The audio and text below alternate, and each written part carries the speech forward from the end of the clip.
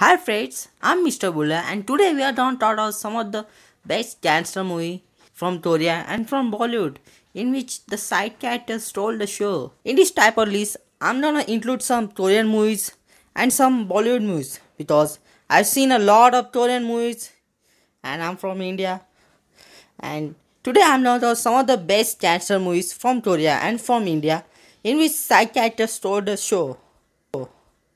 To start this list, I don't think there is a better way to start this list with one of my favorite characters from my dad's film, known as Giants of Wasseypur.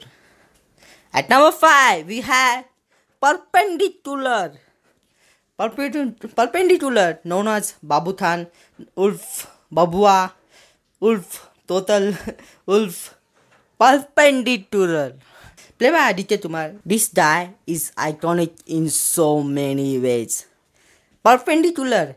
He likes to play with blade in his mouth and also likes to watch movies and he's a huge movie fan and sometimes he also likes to hit his teacher with a blade at perpendicular direction and he also likes to rob people for just fun. My dad is really good at dark and funny character, and from his first intro, you're gonna love this character. When I say that Perpendicular stole the show, that doesn't mean I'm looking down on character like Faisal Definite. I'm not doing that. I'm just basically saying, in a span of just 10 or 5 minutes, he has made such a big impact that he's still remembered now after 8 years. The next movie which is on this list is Asura, the City of Madness. I think I should take a minute to talk about this dream task. Just look at it. It has some of the biggest legends from South Korea. There is Jung Woo-sung, as I would like to prepare it as their Tom Cruise, and my favorite Korean actor of all time, known as Hwang Jung-min.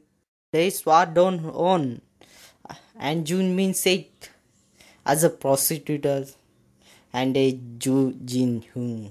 It's just full of legendary actor man. And I think everyone know who stole the show in this movie. It was Hwang Jung-min as a corrupted politician. I think first we should talk about this movie story. Then we are going to talk about my favorite actor. This movie tells the story of a corrupt cop played by Jung Woo-sung who lives in a city known as Asura and it has one evil psychotic politician played by my favorite actor known as Hwang Jung-min. In simple words, it is like this. There is one corrupt cop who's working for a politician and there are bunch of prostitutes who just want to take that evil politician down and entire movie is about how that corrupt cop gets into trouble because he was working with him and how prostitute uses him to take him down and how that evil politician uses that cop and at the end all the things comes together. And we get a, one of the best cinematic experience of all time. And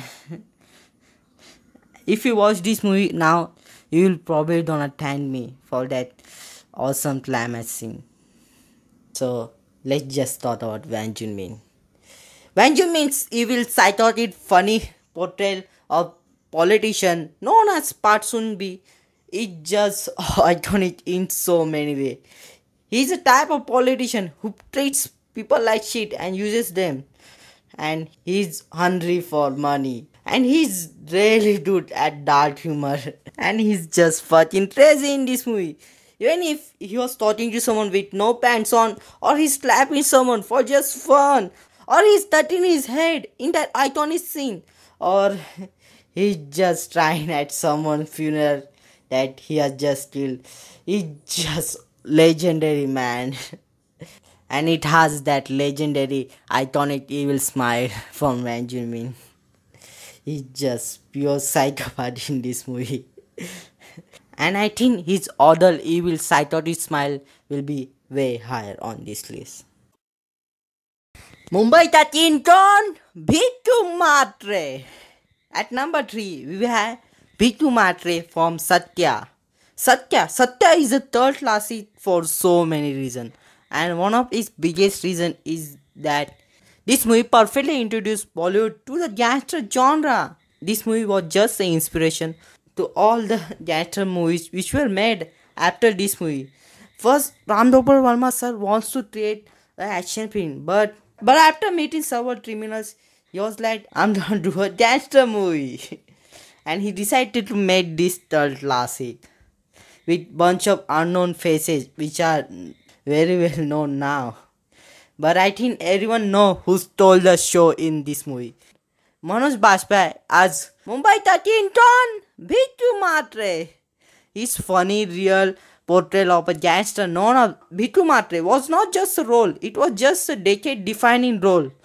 He won a well deserved national award for this film, and Bhiku Mhatre was not just a role, it was just an inspiration for all the future generation actors to portray such a real life gangster character on screen to work so well for them. At number 2, we have Saif Ali Khan from Omkara as Langda Tyagi. Om Tara is Bollywood's pride. It is one of those movies we are really proud of. I can proudly say in the public that Othello's Bates adaptation is available in Bollywood. Lot of industry tries to adapt this story for so many years, but its best adaptation is available in Bollywood in the form of Omkara by Vishal Bhardwaj. And he adapted three novels of Shakespeare's and they are just Bollywood's pride. And I think everyone know who stole the show in Omkara. It was Saif Ali Khan with his career's best performance as Langda Tyagi his selfish, egoistic, manipulative portrayal of Langda Tyagi is the best portrayal of Iago ever put to cinema. Landa Kyaji, who's just really good at playing mind games with people, is just phenomenal in this movie. At the start, when you hear that iconic dialogue from him and he, you see his face, you know you're about to see something really, really special. At number one, we have my favorite actor playing my favorite gangster from my favorite South Korean gangster film. It's Wang Min in New World. New World, if you want to see how gangster movie looks like and how they feel like, then do yourself a favor and watch New World one time before you die. New World is a type of film which defines gangster genre in a coolest way possible. And it has that dream cast. Some of the biggest legends from South Korea. It has Choi Min-sik, Lee Jung-jae, and my favorite actor known as Hwang Jung-min playing my favorite gangster. I remember watching this movie for the first time. Before this movie, I haven't seen any of his films. But after watching this movie, he became my favorite South Korean actor. In this movie, Hwang Jung-min plays the coolest, stylish gangster you will ever see. The man brings that natural charisma to the screen. You just cannot help to love him in this movie. In this movie, Hwang Jung-min plays the coolest, funniest gangster who beats his junior gangster in the funniest way possible. And it has that evil smile from Hwang Jung-min. I can look at that smile all day long. But don't let that evil smile take you away from his evilness in this movie. The man is a complete psychopath in this movie. If you betray him, he's gonna beat the trap out of you in the most psychopathic way possible. And you will understand why he's my favorite South Korean actor when you see that iconic elevator fight scene.